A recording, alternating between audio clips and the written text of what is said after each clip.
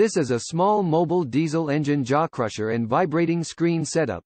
Vibrating screen is used to separate materials into various sizes for further processing or for end use. Deep crushing cavity, increasing capacity and output of feeding.